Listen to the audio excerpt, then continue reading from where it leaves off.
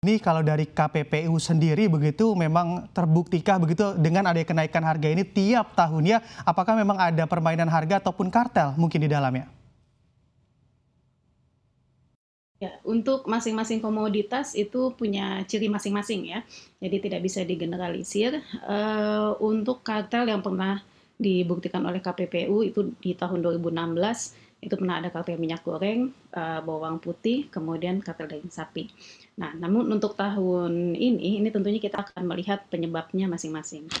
Uh, berdasarkan hasil pantauan KPPU selama tujuh tahun terakhir, kita melihat uh, ada beberapa permasalahan yang merupakan kombinasi masalah yang disebabkan oleh peraturan pemerintah atau kebijakan pemerintah dan juga disebabkan juga oleh perilaku uh, para produsen atau importer. Dari sisi kebijakan pemerintah, uh, sering kali masalah itu disebabkan oleh uh, penerapan regulasi yang tidak tepat. Jadi seperti pengenaan uh, harga eceran tertinggi yang tidak tepat perhitungannya, tentunya itu akan mengakibatkan uh, uh, tidak stabilnya harga uh, di level produsen uh, sampai dengan ke konsumen.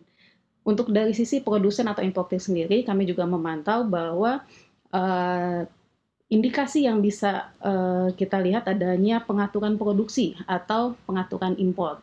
Jadi untuk bahan bahan-bahan pangan yang berasal dari impor itu sering kali uh, tidak direalisasikan sesuai dengan izin impornya. Makanya tadi yang sudah disebutkan uh, sebelumnya ya, jadi misalnya impor daging sapi itu seharusnya sudah bisa diprediksi uh, mencukupi kebutuhan sampai dengan bulan puasa. Namun uh, realisasinya belum dilakukan sejak dari awal tahun. Nah, uh, ada juga uh, produsen yang tidak memaksimalkan produksinya, jadi tidak sesuai dengan kapasitas produksi.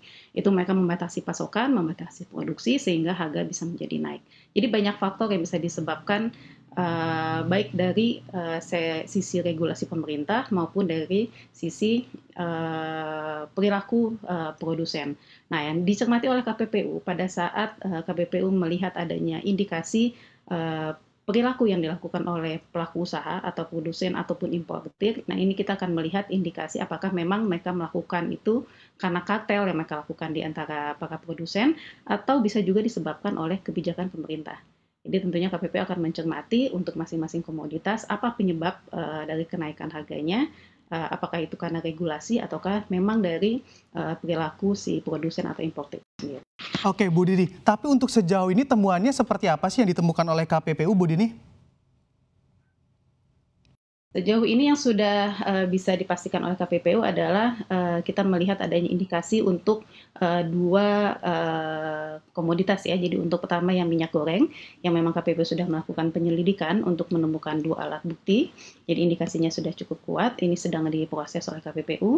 Kemudian yang kedua adalah terkait dengan daging sapi. Untuk daging sapi ini sifatnya masih uh, dalam uh, pemantauan KPPU untuk kenaikan harganya khususnya untuk di Lampung itu sudah sempat kita temukan adanya bukti memang ada perjanjian di antara uh, distributor untuk uh, menaikkan harga kepada konsumen.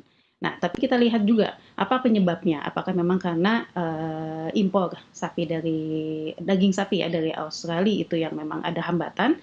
Uh, kita juga melihat perilaku dari uh, konsumen uh, terhadap uh, daging sapi ini, karena memang uh, tipikal konsumen Indonesia masih menyukai daging sapi yang sifatnya fresh. Jadi memang kita harus mengimpor sapi dalam bentuk hidup. Nah, uh, tentunya uh, banyak faktor yang harus diperhatikan. Namun untuk uh, dua komoditas inilah yang sudah menjadi perhatian KPPU.